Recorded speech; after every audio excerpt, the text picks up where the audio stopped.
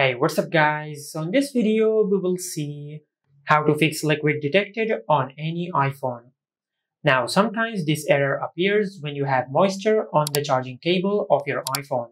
So that's why just use another charging cable with your iPhone and check if this fixes your issue or not. Now, if this did not fix your issue, then unplug your iPhone from the charger and power your iPhone off by just press and hold the power button and the volume up button of your iPhone just like that.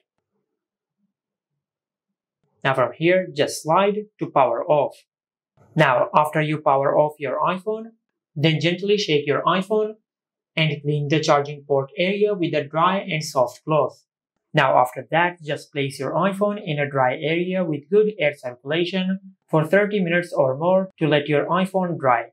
Now after that, just press and hold the side button and power on your iPhone.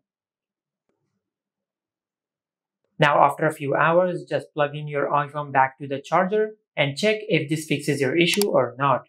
Now, if this also did not fix your issue, then just take your iPhone to the nearest service center and they will fix your issue. And this is how you can fix liquid detected on any iPhone. Make sure to like, comment, and subscribe. Thank you for watching.